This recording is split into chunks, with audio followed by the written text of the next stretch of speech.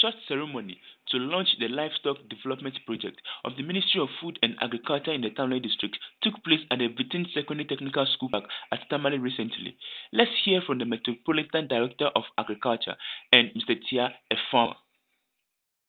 Uh, my name is uh, Kwame Akorful, the Metropolitan Director of Agriculture for Tamale Metropolis. And today, the ceremony that we are having is what we call the Livestock Development Project of the Ministry of Agriculture, funded by the government of Ghana and the African Development Bank. Uh, we have a credit scheme.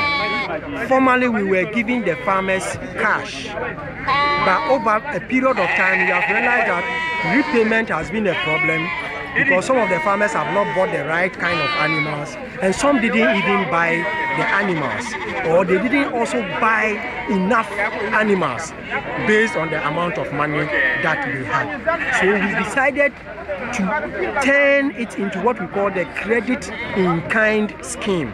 So instead of giving the farmer cash, we are now giving the farmers animals. And so every farmer will give you 10 animals and we give you 10 uh, two years. Over a two year period you repay still 10 animals. And then we give it to another farmer. So it is happening in about 35 districts in the country. 11 districts in northern region of which tamale is part. And that's what we are doing today. Peter tia from the Tamale district. Uh, the, the thing is very, uh, very good and uh, very helpful for we farmers.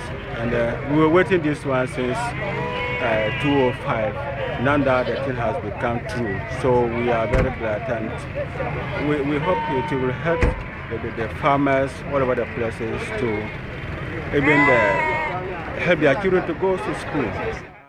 I think it's a, a, good idea that they have started. And this, we are the first batch, and we are praying that it will reach our brothers all over the places.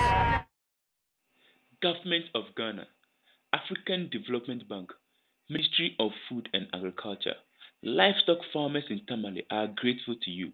For Voices of Africa, this is Psalm Quao reporting from Tamale.